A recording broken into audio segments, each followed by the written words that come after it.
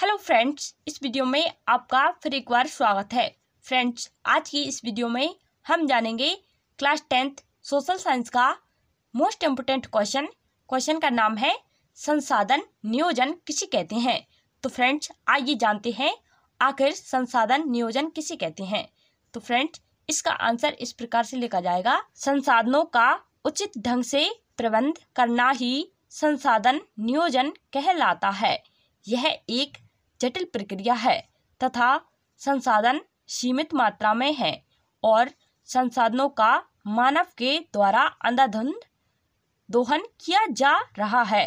इस कारण संसाधन नियोजन करना आवश्यक है। मतलब कि संसाधन नियोजन यानी कि संसाधन का हम किस प्रकार से सदुपयोग कर सकते हैं?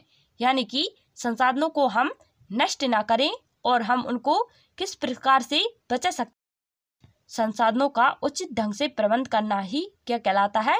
संसाधन नियोजन कहलाता है। यह एक जटिल प्रक्रिया है तथा संसाधन सीमित मात्रा में है और संसाधनों का मानव के द्वारा अंधाधुंध दोहन किया जा रहा है। इस कारण संसाधन नियोजन करना आवश्यक है। तो फ्रेंड्स, यही था हमारे इस क्वेश्चन का आंसर। उम्मीद करती हूँ कि आपको वीडियो पसंद आई होगी।